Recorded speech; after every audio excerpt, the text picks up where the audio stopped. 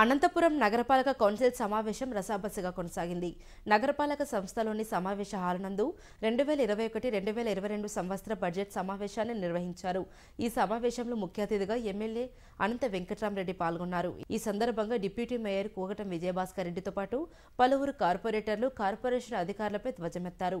బడ్జెట్లో పొందుపరిచిన అంశాలను వాస్తవ పరిస్థితులకు పొంతన లేకుండా ఉందని ఆగ్రహం వ్యక్తం చేశారు. గత మున్సిపల్ ఎన్నికల ఖర్చు కోసం అరవై లక్షల బడ్జెట్లు పెట్టారని అయితే ఎన్నికల కమిషన్ నుంచి ఎంత బడ్జెట్ వచ్చింది ఎంత ఖర్చు పెట్టారా అనేది వివరంగా చూపించలేదన్నారు. అంతేకాకుండా పైప్ లైన్ల పేరుతో లక్షల బడ్జెట్ కేటాయించారని ఎక్కడ పైప్ లైన్లు వేసింది లేదన్నారు. సభ్యులు అడిగిన ప్రశ్నలకు అధికారులు సమాధానం చెప్పలేకపోయారు. కార్పొరేటర్లను బిచ్చగాల కన్నా అధ్వానంగా చూస్తున్నారని పలువురు కార్పొరేటర్లు వాపోయారు. నగరపాలక సంస్థలు ఏ ఒక్క పని జరగడం లేదన్నారు. ఏది అడిగినా బడ్జెట్ లేదని చెబుతున్నారని అయితే బడ్జెట్లో అన్నిటికీ కేటాయింపులు చేశారన్నారు. నగరపాలక సంస్థ అవినీతి మాయమైందని సభ్యులు ధ్వజమెత్తారు. ఒక దశలో కమిషనర్ కల్పించుకొని బడ్జెట్ అంచనాలు మాత్రమే గాని బడ్జెట్ రూపకల్పనలో వాస్తవానికి తేడా ఉంటుందని చెప్పే ప్రయత్నం చేశారు. అయినా సభ్యులు సంస్థలో జరుగుతున్న నిర్లక్ష్య వైఖరిని ఎత్తి చూపారు చేసినటువంటి వాళ్ళు ఉన్నారు ఇంజనీర్స్ కానీ. చెప్పండి. అరవై లక్షలు చూపించండి పేమెంట్స్ వాళ్ళకి వచ్చినటువంటి వాళ్ళకి కొంతమందికి ఇవ్వడం జరిగింది. ఇంపార్టెంట్ వాళ్ళకే ఇచ్చాము. ఏమైనా పొరపాట్లు మనం చేస్తున్నటువంటి దాంట్లో ఏదైనా ఉంటే మరి ఒక ట్రాక్టర్ ఒక ట్రాక్టర్ ముగ్గురు కూలోళ్ళు ఒక డ్రైవర్ ఒక ట్రాక్టర్తో కలుపుకొని పద్నాలుగు వందల రూపాయలు ఎస్టిమేట్ చేశారు.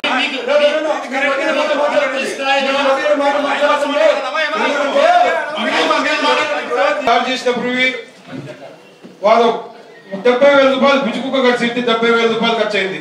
మా వీధిలోనే జరిగింది కూడా. గారికి ఎప్పుడు పంపిస్తారు? ఏంటి? మీరు చేసి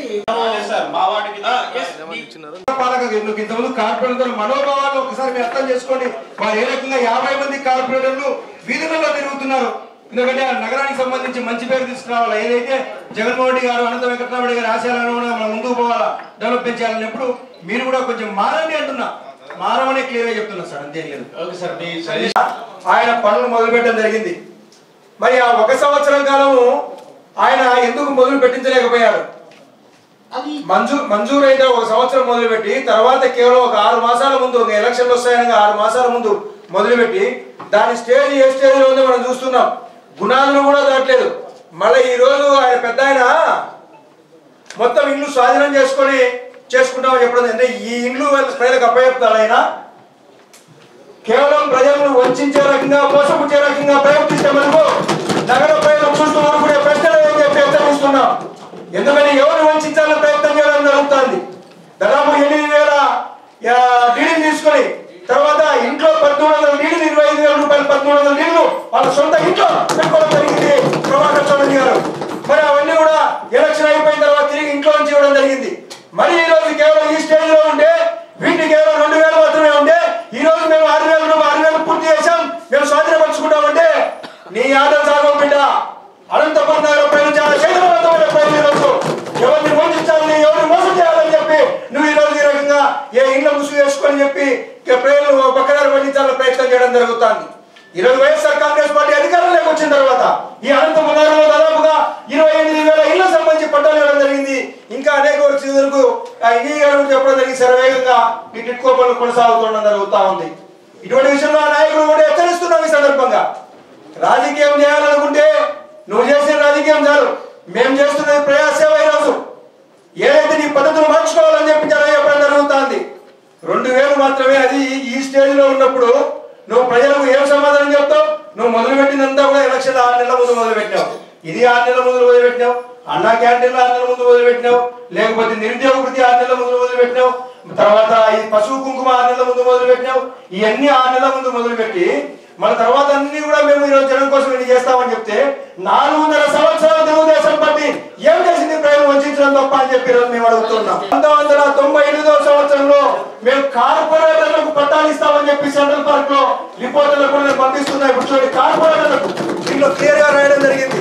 సెంట్రల్ పార్క్ సంబంధించి municipal councillors municipal superior employees ఎవరిని కాకా పెడదామని ఇవన్నీ కూడా అంటే ప్రజల సొమ్ము మోసం చేసేందుకు క్లియర్గా ఇక్కడ ఉంది కాబట్టి రిపోర్ట్ అందరికి పంపిస్తాను జరుగుతుంది. మనం రెక్టిఫై చేయలేకపోయాం రిపేర్లు చేయలేకపోయాం అని చెప్పి చెప్పారు. అయితే ఇక్కడ పైప్ లైన్ రిపేర్లు నిర్వహణలో యాభై రెండు లక్షలు మనం ఖర్చు పెట్టినట్టు చూపించారు. సో దీనికి కూడా వివరణ ఇస్తే ఎందుకంటే గౌరవ కార్పొరేటర్లు వారి వాదన వినిపించిన విధంగా పైప్ లైన్లకు కూడా ఐదు లక్షలు ఖర్చు పెట్టినట్టుగా మన బడ్జెట్లో ఉంది. అంటే దీన్ని ఓవరాల్గా అరవై ఐదు లక్షలకి తీసుకురావడం జరిగింది సవరణలో. ఇది కూడా వాళ్ళకి క్లారిటీ ఇస్తే ఎందుకంటే ఏ డివిజన్లో ఏ వర్క్ జరిగింది ఏ పైప్ లైన్ సవరించాలో అన్నది కూడా క్లారిటీగా మీరు చెప్పాల్సిన అవసరం ఉంది. సో దీని క్లియరెన్స్ కూడా మేము మీ రిక్వెస్ట్ యూ టు కన్ఫర్మ్ ఎందుకంటే ఆల్రెడీ చేసింది కూడా యాభై రెండు లక్షల వరకు చెప్పారు. ఇక్కడ ఏంటంటే పైప్ లైన్స్ పైప్ అడిగినప్పుడు కూడా సార్ మన వాళ్ళు ఎవరు పైప్ విన్న తర్వాత విజిటింగ్ అని చెప్పి ప్రతి డివిజన్కి వెళ్తున్నారు. బట్ దాని ప్రోగ్రెస్ అయితే ఎక్కడ అంటే వాళ్ళు విజిట్ చేసిన తర్వాత అక్కడి వరకే ఉంటుంది. కనీసం దాని ప్రోగ్రెస్ కన్సర్న్ కార్పొరేటర్ కూడా కన్వే చేయటం లేదు. ఒక డ్రైన్ సమస్య కానివ్వండి లిఫ్టింగ్ అంటే గార్బేజ్ లిఫ్టింగ్ దగ్గర ప్రతి చిన్న విషయం కూడా డిఈస్కి కన్సర్న్ అథారిటీస్కి తెలియజేయడం జరుగుతుంది. తర్వాత దాని ప్రోగ్రెస్ అంటూ ఎక్కడ కూడా ఉండదు. ప్రతి డివిజన్లో కూడా ఇన్ఫార్మ్ చేస్తున్నారు కార్పొరేటర్స్ కానీ ఇప్పటి వరకు అధికారులు దాని ప్రోగ్రెస్ అనేది లేకుండా చేస్తున్నారు. చెప్పింది కన్వే చేయటం వరకే ఉంటుంది. ప్రోగ్రెస్ అవ్వట్లేదు. That is the main issue here ఇక్కడ ప్రోగ్రెస్ అవ్వాలి అని అంటే they have to take the initiation regarding problem so ఇక్కడ ఇనిషియేషన్ వాడి ప్రోగ్రెస్ లేనప్పుడు కార్పొరేటర్స్ ఏ విధంగా రెస్పాండ్ అవుతారు? విజిటింగ్ ప్రతి ఒక్క వర్క్ విజిటింగ్ అంటున్నారు కానీ ప్రోగ్రెస్ అవ్వట్లేదు. దిస్ ద మెయిన్ ఇష్యూ ప్రతి ఒక్క కార్పొరేటర్ ప్రతి ఒక్క డివిజన్లో ఎదుర్కొంటున్న సమస్య ఇది. మాకు ఏ విషయంలోనూ మీరు ఇది సహకరించిందో లేదు సార్ సముద్రం అయితే స్లమ్ ఏరియా నుంచి వచ్చి నేను పన్నెండు సార్లు ఎనికిపోయినాను ఏమని ఇచ్చినారేమో సార్ జా- పైపు లేదు ఏంది ఇచ్చినారు సార్ రిక్వెస్ట్ అడగల ఇదేం పద్ధతి సార్? పుట్టిల్లు మున్సిపల్ ఆఫీస్ కానీ అత్తగారిల్లు వార్డ్ అని ఇక్కడ వచ్చి మా సమస్యలు మేము వివరిస్తున్నాము. మీరు ఏ మాత్రం కన్నీళ్ళతో పంపిస్తున్నారు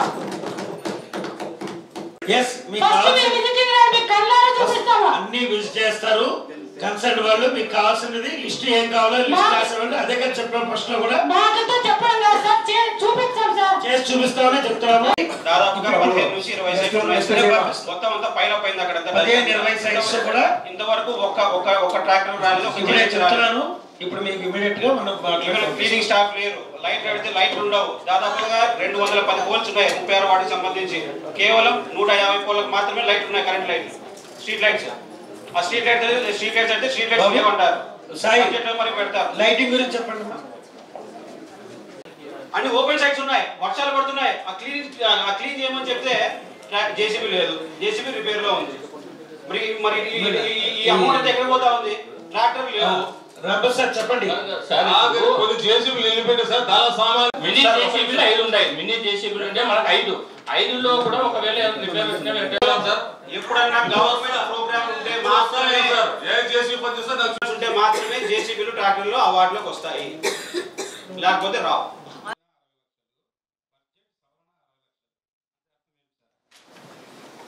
బడ్జెట్ అంచనా అరవై లక్షలు బడ్జెట్ సవరణ అరవై లక్షలు. సాధించిన తర్వాత ఆ పేరనే కదా. నా మాకైతే మా పంతులు అదే నేర్పించినాడు. ప్లస్ ఆఫీసు వాహనాల అద్దె బాడుగులని రాసినారు. అది కూడా ఒక పాయింట్ రాసినారు. మున్సిపాలిటీలో మన కార్పొరేషన్లో ఆల్మోస్ట్ ఆల్ అధికారులంతా వాడుతున్నది ఎలక్ట్రిక్ వెహికల్స్ మన వెహికల్స్ అది. అది కాక బయట వెహికల్స్ పదహైదు లక్షల రూపాయలు అంచనా వేసినారు. లాస్ట్ ఇయర్ పన్నెండు లక్షలు అయినట్టు వాళ్ళు చూపించినారు. అది కూడా కొద్దిగా బ్రీఫ్గా చెప్తే బాగుంటుంది గౌరవ సభ్యులకి. ఎందుకంటే గతంలో మేము పోతే వాళ్ళు మాకు బాగా మాట్లాడిచ్చేవాళ్ళు. అదేవిధంగా మేము పనులు కూడా చేసేవాళ్ళం. మా సొంత ఖర్చులతో ఆ రోజు వాటిలో తిరిగిన పరిస్థితి సార్. ఇప్పుడు కార్పొరేట్ రంగం వాళ్ళు మా పైన చాలా అంచనాలు పెట్టుకున్నారు. మేము ఏదైనా పని చేస్తామని చెప్పి ఉద్దేశంతో. అప్పుడు మేము మనకి పోయే కొద్దీ ఒక లైట్ లేదంటే ఒక లైట్ లేదంటే ఒక కాలువ తీయాలంటే మేము మున్సిపాలిటీ వాళ్ళు అడిగితే స్పందించిన పరిస్థితి. మేము ఆ రోజు కొట్లాడుతున్నాం కూడా వాళ్ళతో. కానీ వాళ్ళు పట్టించుకోవడం లేదు. ఆ రోజు మాత్రమే వాళ్ళు మా మాట తప్ప తర్వాత మళ్ళీ మొదటికి వస్తుంది ప్రతిరోజు చెప్పుకుంటూ పోతాం ప్రతిరోజు ఇది కామన్గా జరుగుతుంది. కానీ చేయడం లేదు. అది అవన్నీ చూసి జనాల పోవాలంటే మేము తలకాయ ఎత్తుకుని పోలేకపోతున్నాం సార్. అంతేకాదు సార్ ఇప్పుడు మనకి ఉంది శానిటేషన్. మనకి ఆరు వందల డెబ్బై మంది వర్కర్స్ ఉన్నారు. జగన్మోహన్ రెడ్డి గారు ప్రజలకి పరిపాలన దగ్గరగా ఉండాలా అనే ఉద్దేశంతో సచివాలయం ఏర్పాటు చేశారు. కానీ వాళ్ళతో ఏ పని కూడా మనం చేయించుకోలే. కానీ మనకు ఆరు వందల డెబ్బై మంది వర్కర్స్ ఉంటే సచివాలయం మనం ఎంతమంది ఇచ్చాం సార్ వర్కర్స్ ఎంతమంది కేటాయించాం సార్ ఇప్పుడు వర్కర్స్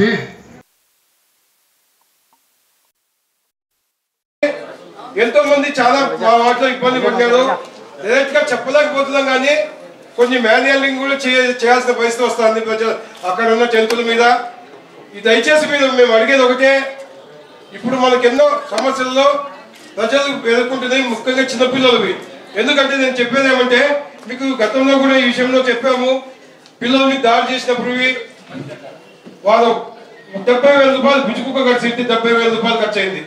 మా వీధిలోనే జరిగింది కూడా. ఆ విధంగా రెండు మూడు సంఘటన మీద మీద జరిగినాయి ఇప్పటికీ జరుగుతున్నాయి. లాస్ట్ చెప్పడం మానేసి నేను మేము ఏదో మేనేజ్ చేస్తాం